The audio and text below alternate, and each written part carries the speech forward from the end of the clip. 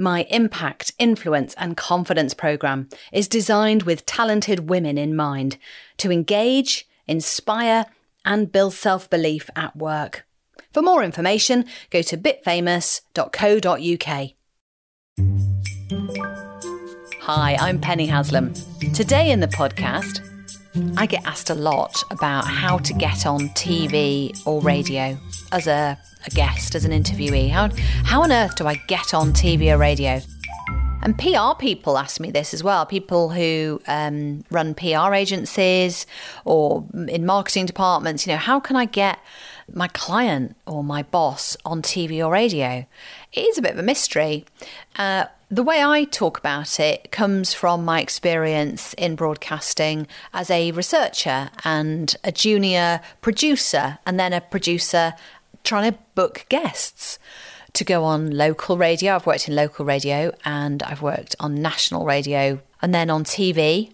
So I know how it works and I'm always intrigued by just how easy it can be, but how many people miss the trick. So, if you want to get on TV or radio, it's the difference really between a one hit wonder. So, you might have a product launch, a book that's just come out, a bit of research that you're going to talk about.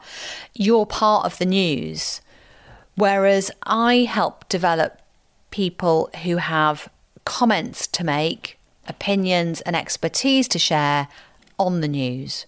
And that, for me, in my experience of broadcasting, is where your long term relationship can really bear fruit for, for many, many years. You've got longevity there.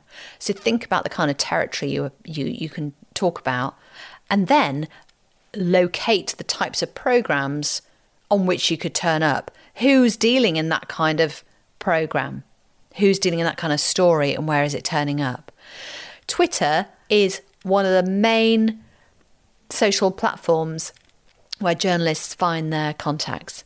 So if you know your program, your destination program, say it is drive time on a local radio show and they always have a talking point, then you know, you could perhaps get in touch and offer yourself for that slot and get in touch with them via Twitter, using their tag, using their name on Twitter, and also maybe hashtagging the program as well. And hashtags are a good way that journalists find people who have got something to say on it. Now, you could just comment on the news about it, or you could share a video or a blog that you've written about it or you've written in the past that is useful and say, This is what I had to say about this. I feel strongly. And my Auntie Daphne did this. My Auntie Daphne, brilliant head teacher. And some article came up where there was some criticism of parents who were going to the school playground in their pajamas. Lazy parents. It was a kind of like, oh, parents are so lazy these days, they can't even be bothered to get dressed. She tweeted about it and she contacted her local newspaper and she contacted her local radio station and said, I've got stuff to say about this. And guess what? She got on that afternoon and she had a really good time. She had a lovely chat with the presenter and uh, shared the ideas that she had about it, that it actually wasn't really happening and it was just a bit of a, you know, tabloid press story myth. Uh, anyway, she was useful. And as a result, her name went in the database and her telephone number. And she was called upon a few weeks later when there was a bit more of a serious news item happening that she could comment on. So there is a kind of uh, approach to this which is slow and steady. You're not just going to have success immediately necessarily, although I hope you do. You've got to think long term and keep your ear to the ground about what's happening in the news that you might be able to comment on.